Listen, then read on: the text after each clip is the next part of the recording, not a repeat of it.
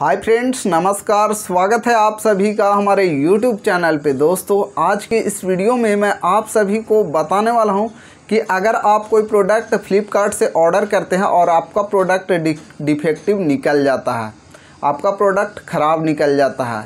सो so guys आपको क्या करना चाहिए? इसके लिए आपको दो ऑप्शन मिलता है।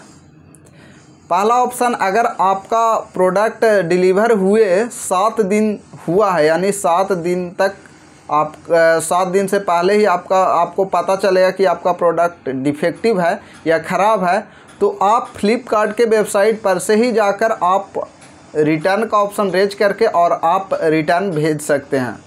दूसरा ऑप्शन है कि अगर आपका प्रोडक्ट डिफेक्टिव है, ये रिटर्न पॉलिसी फ्लिपकार्ट के रिटर्न पॉलिसी ख़त्म होने के बाद आपको पता चला तो आपको करना क्या होगा कि आपको जाना होगा, जो प्रोडक्ट आप परचेज किया है, उसका सर्विस सेंटर विज़िट करना होगा और सर्विस सेंटर से जाकर उस प्रोडक्ट को ठीक करवाना होगा रिपेयरिंग करवाना होगा।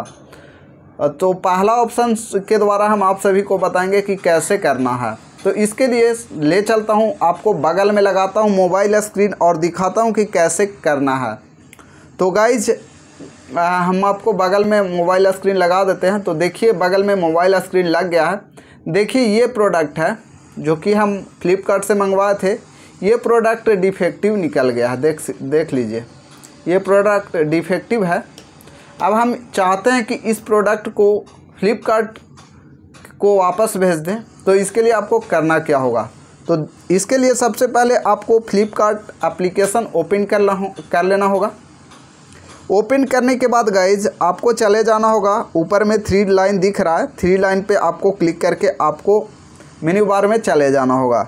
वहाँ पर जाने के बाद गाइज़ यहाँ पर देखिए माई ऑर्डर का ऑप्शन दिख जाएगा। देख सकते हैं माई ऑर्डर्स का ऑप्शन आपको दिख जाता है। माई ऑर्डर्स पे सिंपली आपको क्लिक करना है। तो यहाँ पर जो जो प्रोडक्ट आप ऑर्डर किए हैं, वो सारा प्रोडक्ट यहाँ पर दिख जाएगा। देखिए, ये प्रोडक्ट है गाइज़ जो कि मेरा ख़राब हो चुका है ये प्रोडक्ट तो हम इस पर क्लिक करेंगे। क्लिक करने के बाद गाइज़ यहाँ पर देखिए गाइज़ अगर आपका रिटर्न पॉलिसी बच रहा, देखिए गाइज़ ये अभी return policy valid till December पाँच, यानी पाँच दिसंबर तक ये वैलिड है। पाँच दिसंबर से पहले तक हम फ्लिपकार्ट से रिटर्न भेज सकते हैं। अगर आपका पास पार हो जाता है, यानी कि जो रिटर्न पॉलिसी डेट है, वो ख़त्म हो जाता है तो आपको सर्विस सेंटर जाना होगा। तो गाइज़ देखिए यहाँ पर रिटर्न का ऑप्शन दिख रहा है। रिटर्न पर हम क्लिक करेंगे। रिटर्न पर क्लिक करके यहाँ पर देखिए गाइज़ यहाँ पर आपको पाँच ऑप्शन दिख रहा है। पहला है रिसीव्ड रॉन्ग आइटम यानी दूसरा प्रोडक्ट रिसीव हुआ। दूसरा है product is missing in the package product आपका मिसिंग है पैकेज में। रिसीव्ड ब्रोकन या डैमेज आइटम आपका जो प्रोडक्ट है वो डैमेज या टूटा हुआ है। यहाँ पर देख सकते हैं, चौथा ऑप्शन है quality of the product are not expected यानी आपका प्रोडक्ट का क्वालिटी ख़राब है। और लास्ट ऑप्शन है this product receive is defective यहाँ पर देख सकते हैं द प्रोडक्ट रिसीव डिफेक्टिव यहाँ पर दो ऑप्शन दोनों में से आप कोई भी सिलेक्ट कर लीजिए। थर्ड ऑप्शन या फिर फिफ्थ ऑप्शन सिलेक्ट कर सकते हैं। तो चलिए यहाँ पर थर्ड ऑप्शन हम सिलेक्ट कर लेते हैं। उसके बाद देख सकते हैं गाइज़ यहाँ पर दो ऑप्शन आता है सिलेक्ट करने का। तो यहाँ पर आप सिलेक्ट कर लीजिए रिसीव्ड अ ब्रोकन या डैमेज आइटम इस पर क्लिक कर लीजिए। और यहाँ पर देखिए क्लिक कर लिए, यहाँ पर सिलेक्ट कर लिए। और यहाँ पर लिख दीजिए this product is not working